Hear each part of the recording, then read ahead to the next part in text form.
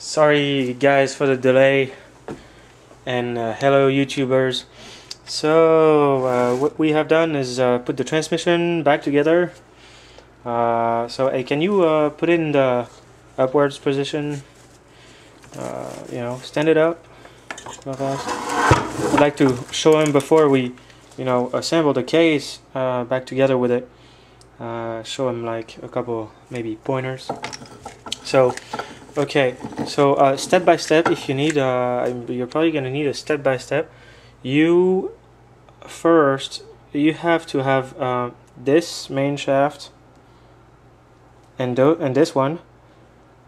Uh, put them together so that those two gears, you know, uh, coincide, one and two, and um, you can wait for that third um, uh, reverse gear that is gonna be behind this little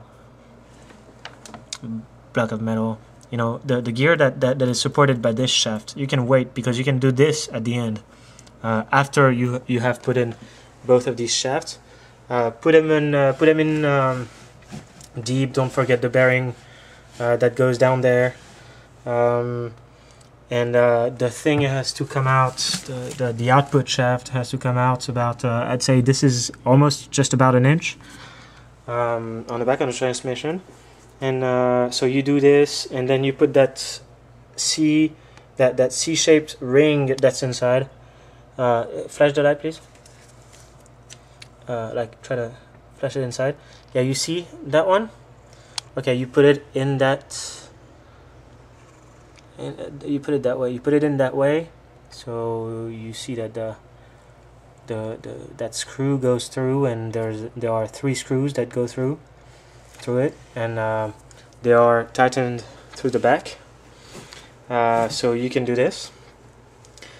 After you've put uh, all the, the main shaft and uh, shafts and everything inside and do not forget that's what I wanted to point it out too uh, this uh, shift fork it doesn't really matter when you put it in but those two that are before it you have to put them on the shaft before you put the shafts back in the transmission uh, or else it's just not gonna work. Um, okay, uh, so you put both of these shafts with those two shift forks. Forks there, there are three on this. Uh, with the th with the two on, uh, you install that gear um, that that's behind this support. You know, supported by this shaft. Um, after after that you screw in uh, that screw that holds this little reverse gear. Uh, those uh, three screws that hold that C-clip screw those in tighten them. Uh, now uh, install that support right here and uh, screw in this screw that that keeps it um, tight with the the core of the transmission you know. And then you can do this assembly right here and from the top uh, everything being centered the shifter being centered uh, from the top it looks like this. This is the you know the shift fork uh, what is it called? Lever or shaft or something? Uh, you know when you have this little pin in the middle and this second little pin in the middle of that part right here. Uh, you know make sure you install this part correctly not the not the other way around like this but like this. Uh, you can wait up uh, before you put in the spring and um, what is that called? Like a plunger? Yeah the spring and the plunger that go in that hole. You can wait a little bit do it just like right before you put everything back together.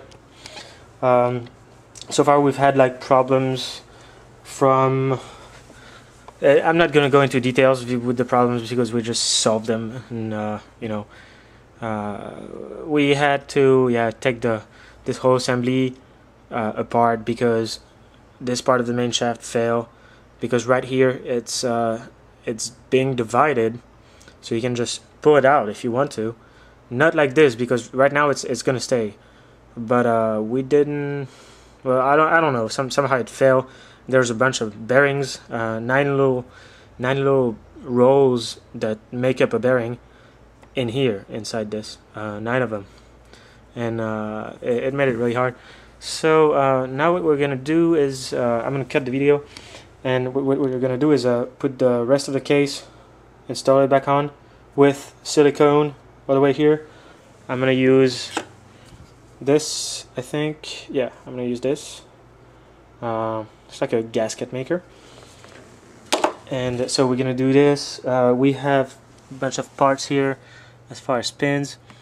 Um, this random uh, this random one that goes uh, I forgot where it goes on the case uh, you know all these uh, little screws this one that I had to weld with the welder back in and it's gonna be in direct contact with the shifting uh, shifting shaft here shift, shift fork shaft or whatever it's called it's gonna be like inside one of those I believe anyway so we're gonna do it and uh, I'm gonna tape when we're on the next step.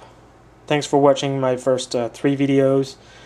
I know it's kind of weird sometimes, kind of hard to see, and uh, but I've actually watched my own videos to be able to put this transmission back together. So I'm very confident that if you do the same, you will be successful.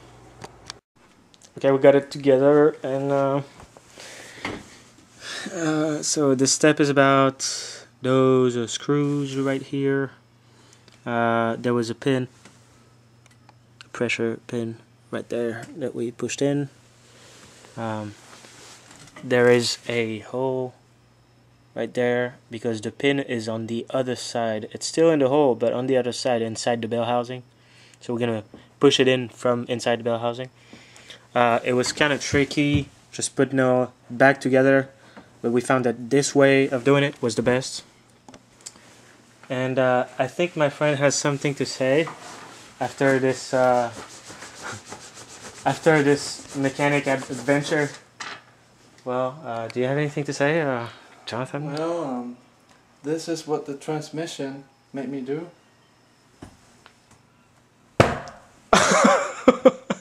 okay. I'm Should I do it too? No, I don't deserve it. No, it's not yours. It's my transmission. Oh yeah, it's your for, transmission. For, for so it makes you wanna it makes you wanna hit your head. Uh, yeah, so uh, we got those uh, those screws to put on for the the cover that goes at the end uh, on the input shaft, and uh, we have this also with a spring in in there. Uh, that's about it. That's all we have left to do. Uh, this is the part that I welded, like I welded a nut to that, that pin because it was so hard to remove. There we go. We have uh, installed that plug. Plug is now back on. Can you see it? Yeah, right there. With uh, that nut that I welded to it on top. And um, one more thing. Yeah, we just put that bolt back in right here. And it I mean this one, yeah. It interacts with uh, the shifting mechanism. And uh, now we just installed that ring. Can you show them the ring that we just put in? The ring. The ring? Oh yes. Uh, the? The, the, what are they? O-rings? Yeah. Right there, we just, just installed it. Uh, we got a new ring because we broke the one that we uh, removed. And we just made a gasket for this. Silicone. Yeah, with black silicone. Oh yeah, I forgot to show like the gasket that we made for this one for the case. You know, it runs all around it. I don't know if you can really see it. I can't really see it in my uh, viewer, my video camera viewer. Okay, uh, put it on.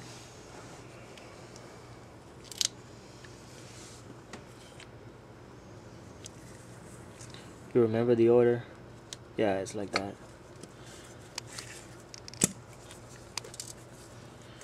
Perfect. That's one part of it. And now, then so we're gonna install this on top. This one has uh, two holes for two screws. Two bolts. I just hope it goes like that. And we'll uh, that thing will be ready. That's gonna be the end of it screw goes here. Right. Yeah.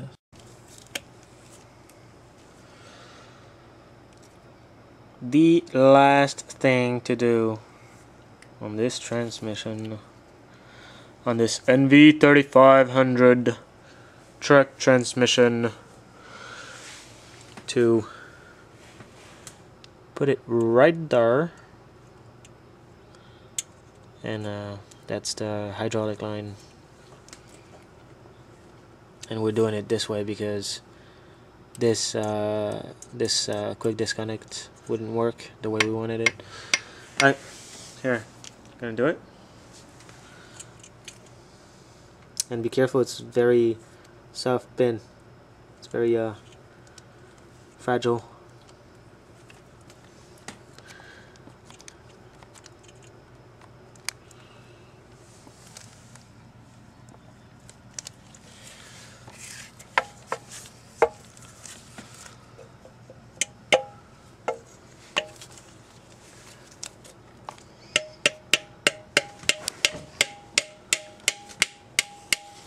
There you go. Yeah.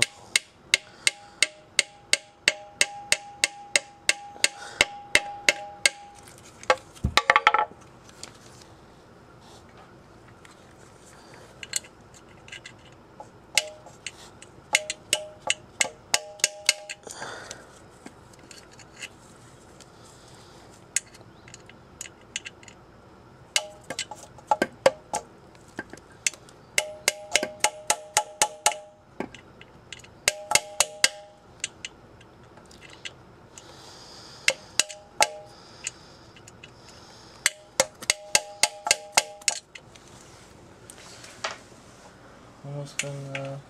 Just want to make it even. There. Now it's even.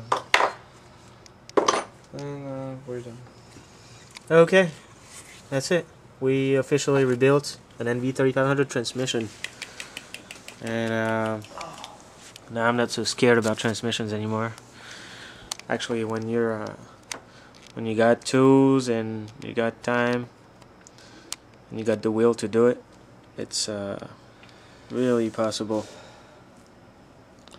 This is the hydraulic line. That's it. So just put it back on the truck and you'll be good to go. Remember that's my tool Uh, please don't forget to rate and subscribe and uh, leave comments, ask questions if you need uh, advice or uh, or help in any way or you know um, questions about how to get the parts for this or whatever. I'll uh, answer because I check my YouTube all the time. Alright, bye bye. Thanks for watching.